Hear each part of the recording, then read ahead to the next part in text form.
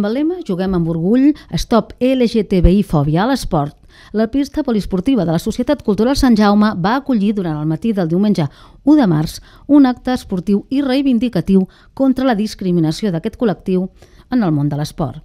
Es tracta d'un torneig de futbol sala en què hi van participar més de 10 equips de diferents entitats i agrupacions del municipi.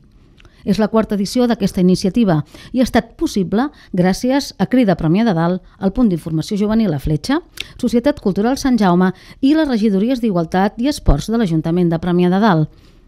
Cal destacar la participació, un cop més, dels equips masculí i femení de futbol sala de Panteres Grogues, una ONG que treballa per la inclusió i el respecte cap al col·lectiu LGTBI, especialment en l'àmbit esportiu.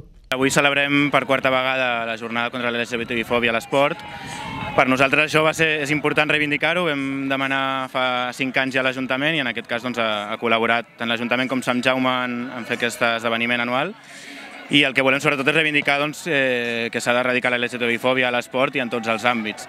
I per això no volem quedar-nos només en això, sinó que nosaltres hem anat fent contínuament propostes i aquest mes també en el ple per, per anar més enllà i fer mesures efectives contra la LGTBI-fòbia a l'esport, a l'educació, en tots els àmbits de la societat. Abans d'iniciar el torneig, el regidor adjunt d'Esports, Ramon Golar, i el de la crida, Carlos García Avalos, van presentar l'acte i van donar la benvinguda a les persones assistents.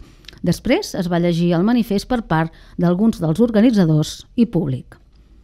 El torneig es va allargar fins ben passades les dues de la tarda i ja per acabar es va oferir un refrigeri per a tots els participants.